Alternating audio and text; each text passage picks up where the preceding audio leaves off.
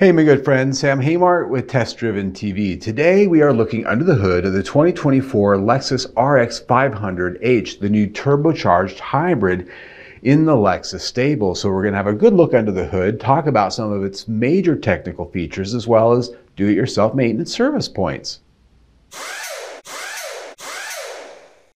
The 2024 newer Lexus RX 500h all-wheel drive is the first vehicle from the brand to showcase their all-new high-end turbocharged hybrid powertrain option that takes power and driving enjoyment up a few levels from the base hybrid powertrain in the RX 350h.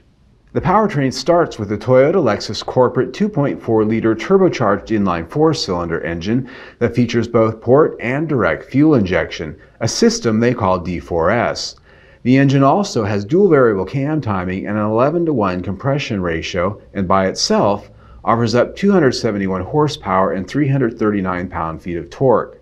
The big news is that it comes mated to a conventional 6-speed automatic transmission instead of an ECVT like other Lexus hybrids. There's an electric motor sandwiched between the engine and the transmission and an additional electric motor drive unit at the rear axle for all-wheel drive.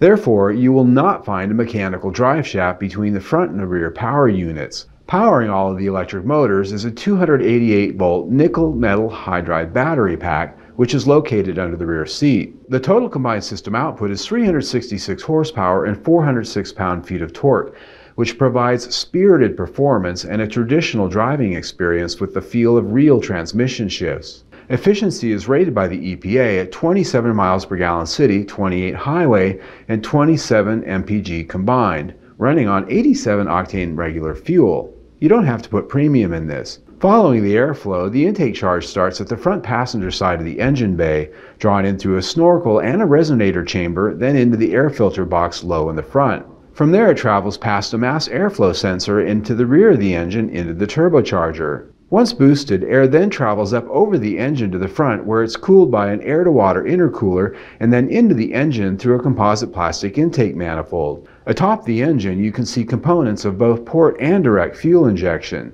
A fuel rail for the port fuel injectors is seen somewhat under some components at the front. The large shiny aluminum fuel rail on top along the spark plug coil packs is for the direct injection. Once combustion takes place, the spent air exits through the rear of the engine into the turbocharger, which features an electronically controlled wastegate and then directly into the catalyst assembly.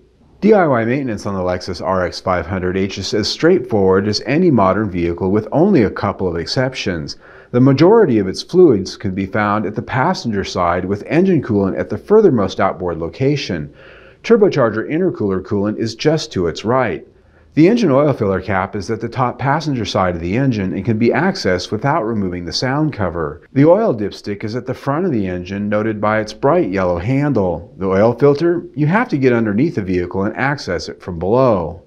The brake fluid reservoir can be found at the driver's side near the strut tower.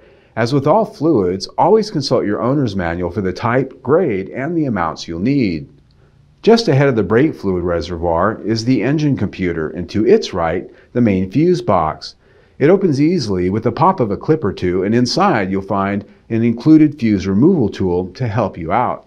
The air filter is located down low on the driver's side ahead of most of these components and can be easily replaced by popping a couple of clips. No tools are required. Of note, the electric cooling fan is mounted at the back side of the radiator and should be treated with respect as it can turn on any time if the engine is warm, even if the engine is shut off. Also be careful working in or around the orange wiring harness that connects to the hybrid electric motor and the control components, as it handles some 288 volts. All right, my friends, there you go, an overview and a quick look under the hood of the Lexus RX 500H the turbocharged hybrid. Now this is an engine and transmission you're going to find in a lot of upcoming Lexus and Toyota vehicles. This particular one we've got a test drive of. You can see that right there. If you like these nuts and bolts videos, you can also subscribe to TDTV Garage right there. Either way, stay tuned.